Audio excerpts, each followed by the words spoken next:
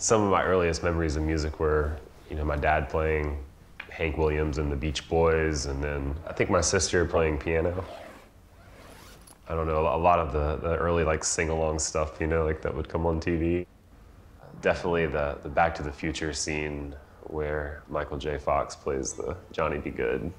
That was a pretty important thing I saw as a, as a kid.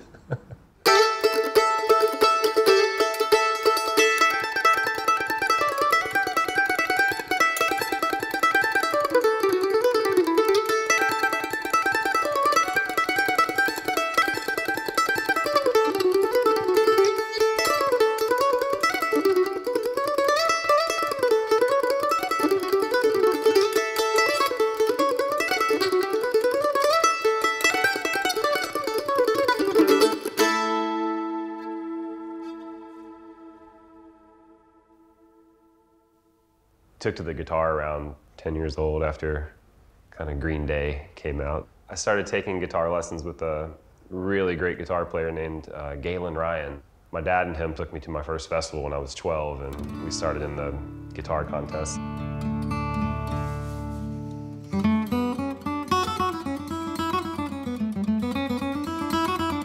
Going to all these festivals and seeing all these musicians that you looked up to and then realizing like, hey, we're, we're jamming together and you know, it's getting better and better each time. And somewhere in there, it just really clicked that, you know, this is what I want to do with my life.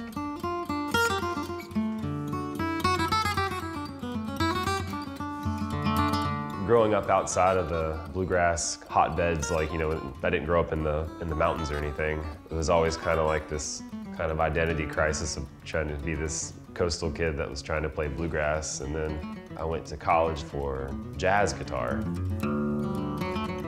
When I got to college, they were like, oh man, you sound too bluegrassy. And then the summer and go back to festivals and all the bluegrass guys are, oh man, you sound too jazzy. So it's, it's never quite, you know, rooted in any, you know, one tradition.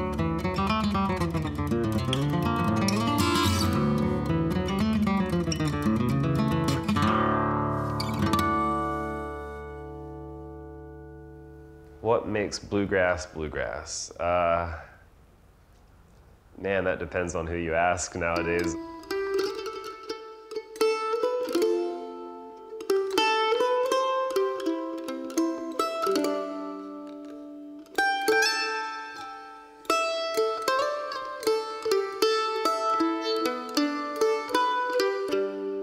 Traditional roots of bluegrass, I guess, come from the Scotch-Irish fiddle tunes mixing with a lot of the African traditions that came over into America and rural South, just everybody mixing cultures and musics. Bill Monroe would be the guy that kind of synthesized all that.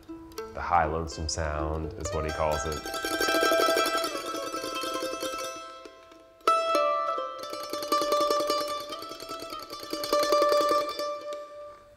Jazz kind of developed, it was, you know, Dixieland and swing and ragtime, and that switched over into bebop eventually. And a lot of people are, you know, that's not jazz, you know, that, and, you know, now of course it is, just because that's the evolution of the tradition. I think more things are bluegrass than just the traditional definition.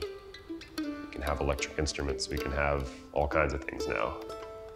But, you know, as this folk genre is developing, what is and what is not bluegrass is a very, you know, subjective thing to talk about nowadays.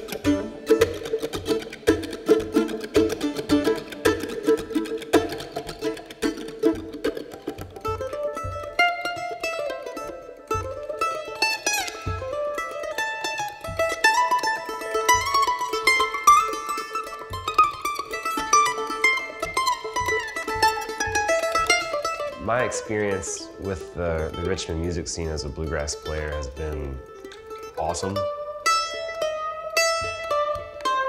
I found it to be really supportive, even for people that aren't necessarily bluegrass fans. There's just a lot of people who appreciate good art and good music in town. And this isn't a huge city, but we have, you know, great metal scene, great jazz scene, great rock scene, great hip hop scene. Like, everything's great.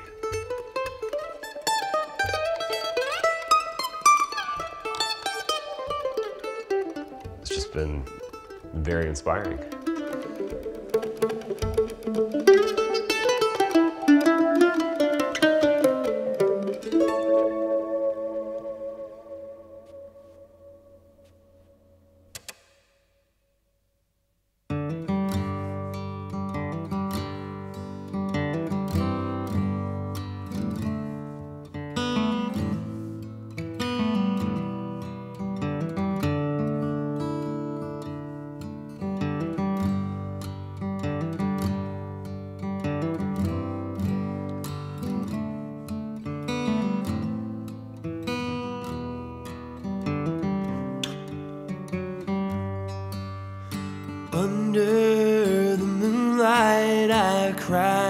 Out your name.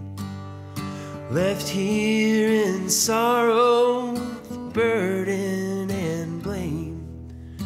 Only the shadows take heed my refrain, and I dream in vain again. The storm clouds are brewing, the rain touch my face.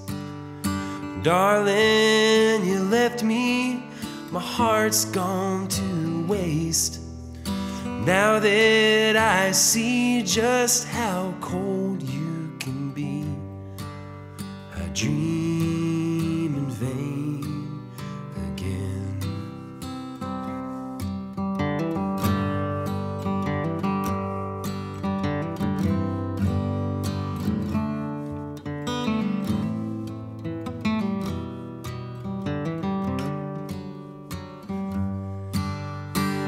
Walking the road of my memory. Back to a place where I called you a friend. Once I believed in a love without end And I dream in vain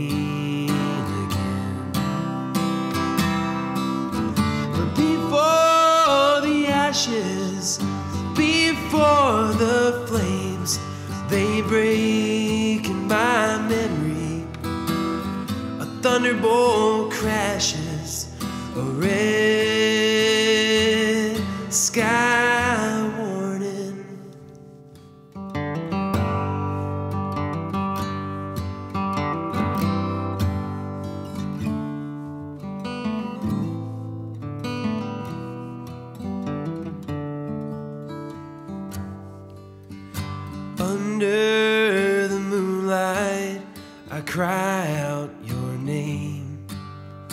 Left here in sorrow with burden and blame. Only the shadows take heed my refrain, and I dream in vain